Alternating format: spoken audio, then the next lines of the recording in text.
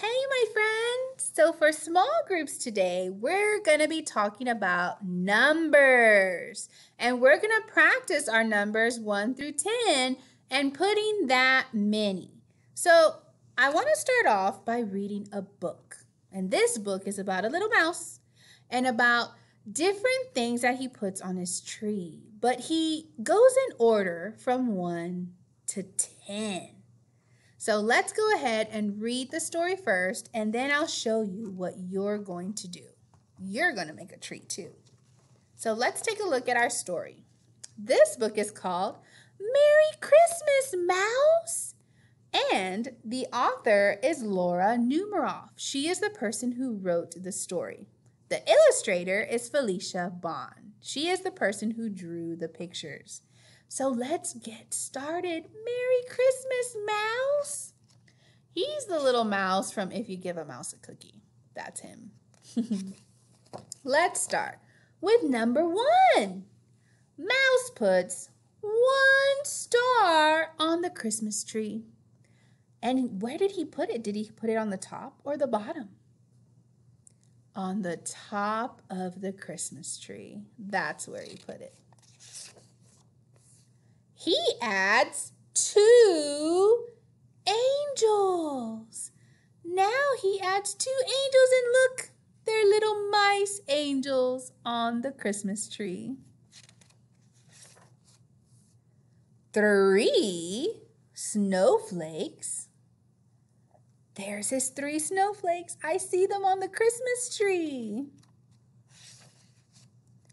Four reindeer can you see the little reindeer? And it looks like they all have a red nose. They might all be Rudolph ornaments. Five snowmen. Now he added five snowmen. Let's make sure there's five. One, two, three, four, five. Those are pretty cool snowman ornaments. Six toy soldiers. Ooh, now he added some soldiers to his Christmas tree. They almost look like nutcrackers. And what are they? Are they people? No, they're little mice soldiers too. One, two, three, four, five, six. What comes after six? Seven. Seven robots. Whoa, he put robot ornaments in his tree. One, two, three, four, five, six, seven. Yep, they're all there. What comes after seven? Eight. Eight little elves. Oh, now he's putting little elf ornaments. They might be mice too. It's hard to tell. Let's make sure there's eight. One, two, three, four, five, six, seven, eight. What comes after eight? Nine. Nine mittens. Now remember, mittens, are they the ones with all the fingers or two big holes? Two holes, one hole for the thumb and a big hole for the rest of the fingers. There are their mittens, and there's nine of them. Let's make sure. One, two, three, four, five, six, seven, eight, nine. There's nine. What comes after nine? Ten and ten rockets. So now he put some rocket ornaments on his tree. That is really cool. I have not seen rocket ornaments. Let's count and make sure there's 10. One, two, three, four, five, six, seven, eight, nine, ten. There's 10. We counted. Only a hundred more to go. Oh my goodness.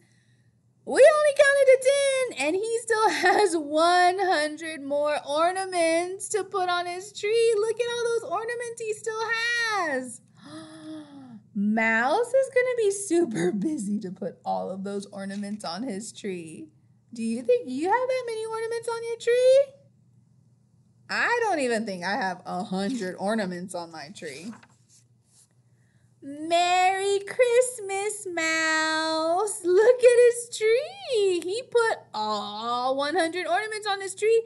What's happening to his Christmas tree? It's bending. Why do you think it's bending? Kind of like our coconut tree from Chicka Chicka Boom Boom. It's starting to bend. Why? Because he has too many ornaments on his tree. Oh my goodness, Mouse. What were you thinking? That's a whole lot of ornaments. He worked very hard on his tree, though.